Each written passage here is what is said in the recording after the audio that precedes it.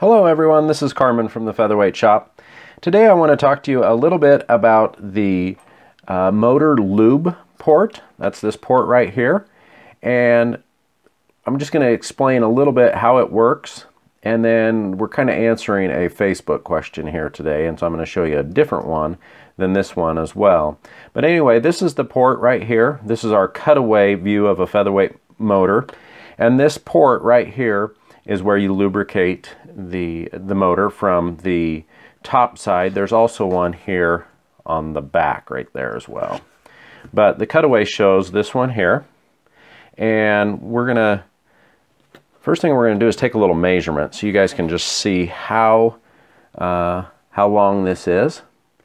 It's basically an inch from the shaft all the way up to the top of the port here. This piece here is a felt wick.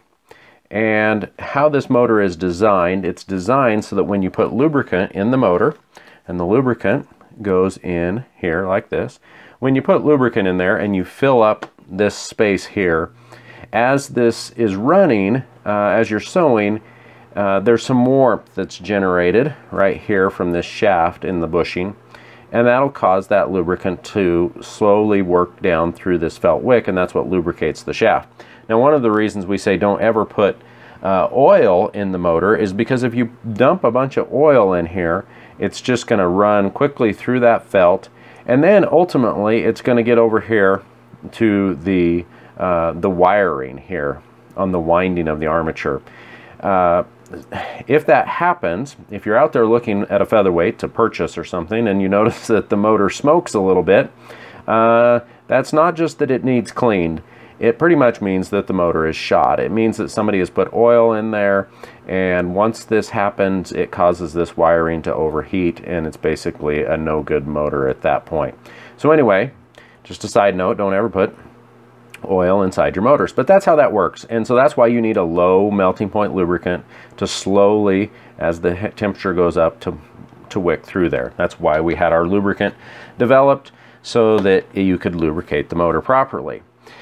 So when, uh, when we sell our lubricant, it comes with this little hollow straw thing here. It's a port cleaning tool is what we call it, but basically it's just a hollow Q-tip with the ends cut off.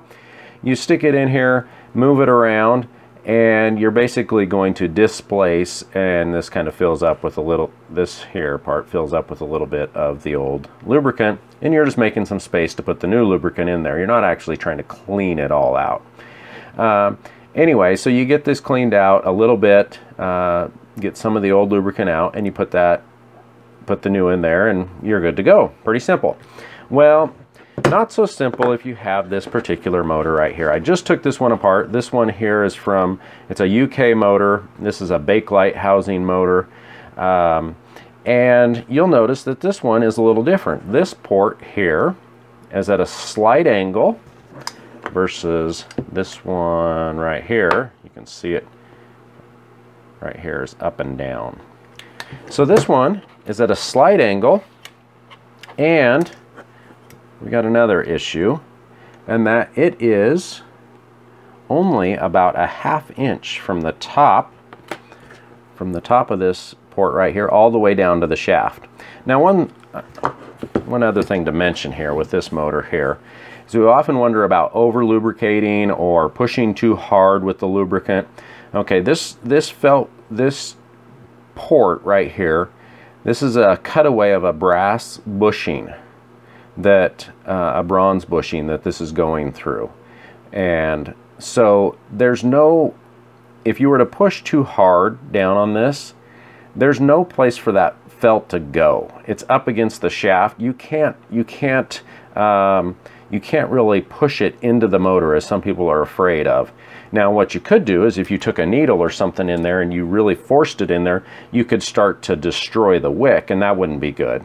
But you're not going to push this wick into the motor. It's against that shaft. It can't go anywhere. So anyway, back to this one now. So you got two problems with this one. It's really short and this hole is too small to get this little straw thing in. So, you know, you resort to using an old needle or whatever and that works uh, to get some of it out. But usually with this particular motor right here, this because I don't know if it's because it's such a small distance, it's definitely uh, smaller around. The felt itself is smaller, but these are quite often hard as a rock. So you can see I'm just barely inserting here and it's hard. It's solid. You're not going to, you're not going to, you can't get anything cleaned out of it. So there's no place to put the new, the new lubricant. So there's a couple things to remember is number one, now we're only a half inch long from here. So there's not going to be a lot of room to get lubricant in there in the first place.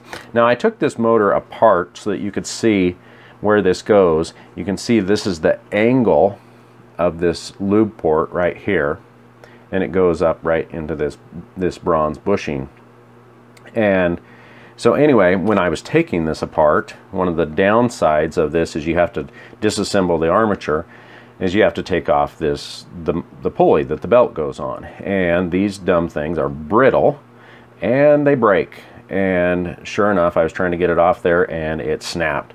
But fortunately just here the other day we had a reproduction made because prior to this you had to basically try to take one of the metal pulleys and get it to fit using the other screw and it didn't didn't quite work right. So anyway, there is an alternative. If you have to get to that point and you break it, no major worries now.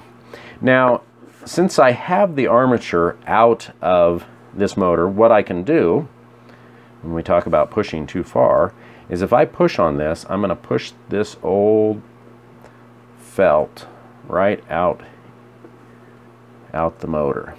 And so I'm going to take it completely out so you guys can see what that thing looks like. I could tell right when I when I did this that this was just an old hard one. And you can see it's it's uh, it's it's yeah it's just hard. And uh, I mean I can't really even squeeze it. Now I just told you don't ever put oil in your motor. Because if you put a bunch of oil in there it's going to get on the armature like we mentioned. But there is one exception to that rule and that is and Singer recommends that you can put one drop of oil into a uh, onto that felt if it you know if it hasn't been lubricated in a long time and it's turned hard like this.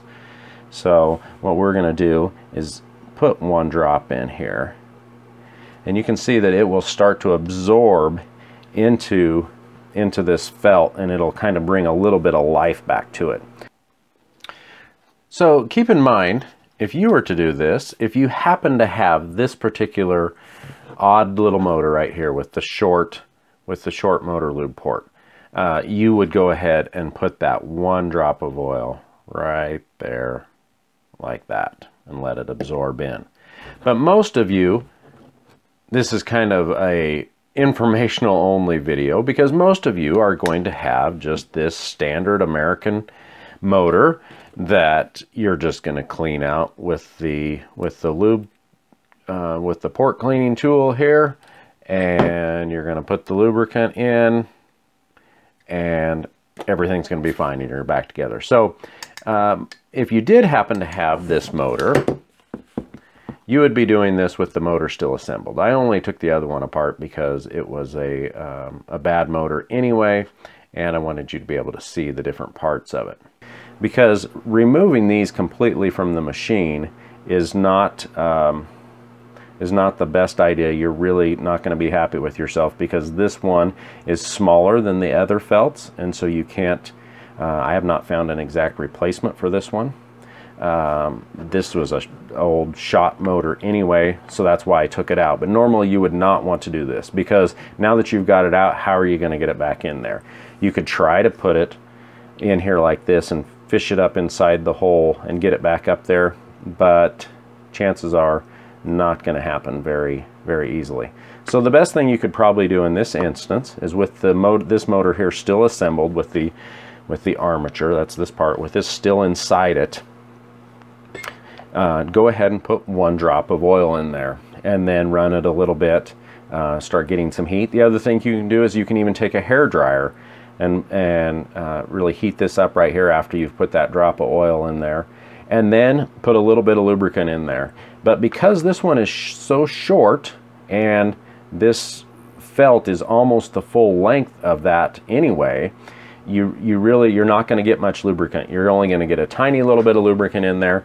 Go ahead and heat it up. Go ahead and use the machine, but then um, you're going to probably have to lubricate more often until this thing is completely saturated with lubricant and starts lubricating the shaft um, how it's supposed to. So anyway, I hope that helps and makes some sense as to how, how this all works. Uh, kind of tells you uh, how to lubricate it, what type of lubricant to use, and especially about not uh, pouring a bunch of oil in there. Uh, otherwise, you'll destroy the motor. But anyway, if you have any questions, make sure and give us a call here at the Featherweight Shop, or you can chat with us, uh, send us an email, or uh, chat with us online on Facebook. Have a great day.